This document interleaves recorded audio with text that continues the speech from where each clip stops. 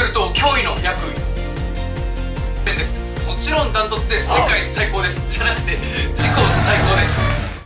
皆さんこんにちは。俳優 YouTuber の大川圭吾です。最近出前館業務委託が熱すぎる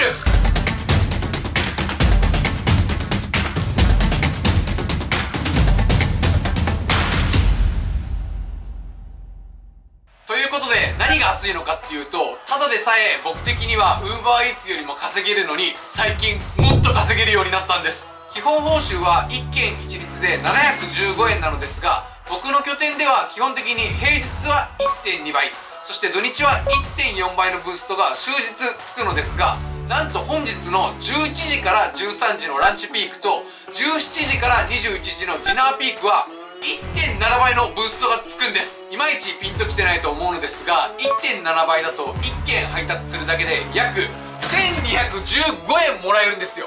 ただ言ってもリクエストが早押しだから全然取れないだろうなと思って稼働したらなんとリクエストの方が余っててランチの11時から13時の2時間で7件配達することができたので約8508円稼ぐことができました。なので一回家に帰ってきてシャワーを浴びて急遽ディナーを撮影することにしました。とにかく激アツなので17時から21時の1.7倍ブーストのディナーピークを稼働してランチピークと合わせていくら稼げるか検証していきます。おそらく歴代最高時給になることはほぼ当確だと思います。1.7倍ブーストの17時から21時は受け取り時間で計算されるのでまだ17時になってませんが早速オンラインにしていきます。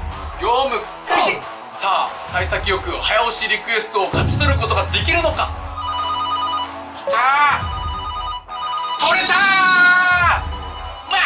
それでは本日も安全運転を心がけて行ってきまんとヒーヒ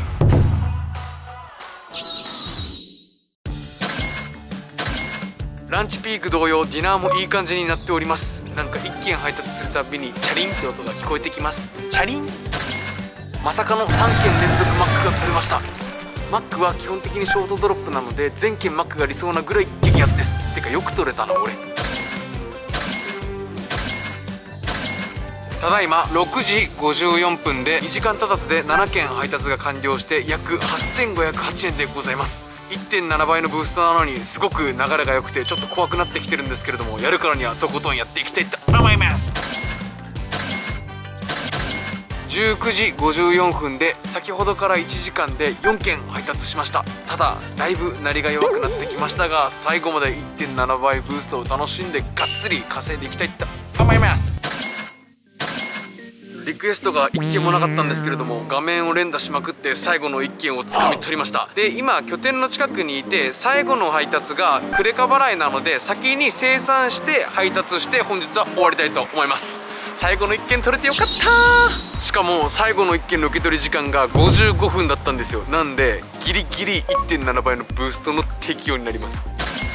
9時4分で無事に最後の配達が終わりました。予想していた通り自己最高のとんでもないスコアが出ました。さあ本日の日給と時給はいくらになったでしょうか。もう生産してあるのでこのまま帰ります。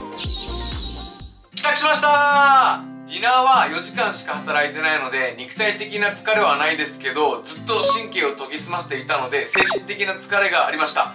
でもめちゃくちゃやりがいのある報酬だったのでいつも以上に頑張れました。あと現金をオンにした際に必要なものは何ですか？という質問をよくいただくのですがこのようなポシェットを腰に巻いてその中にお釣り入れを入れるとかなり便利です。お釣りの金額は適当で多くなったらこの貯金箱に入れて少なくなったら補充するって感じです。出前館のリクエストは早押しなのでより多くのリクエストをゲットするために現金をオンにするのはマストです。それでは結果を発表させていただきます。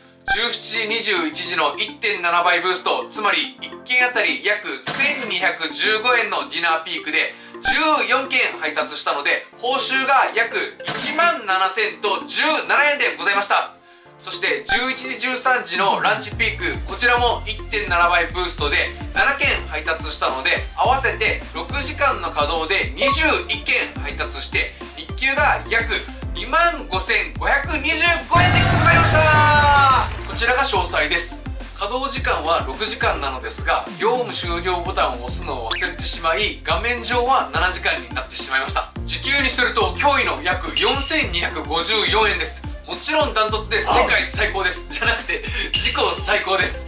時間別で言ったら時給5000を超えた時間もありました。ね。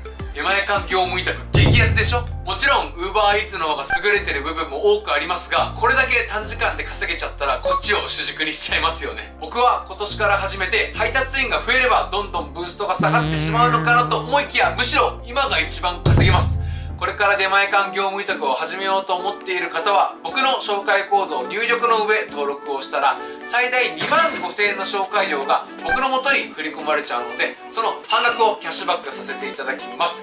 詳しくは概要欄をご覧ください。本日も最後までご視聴していただきありがとうございました。チャンネル登録もよかったらよろしくお願いいたします。それではバイバーイ！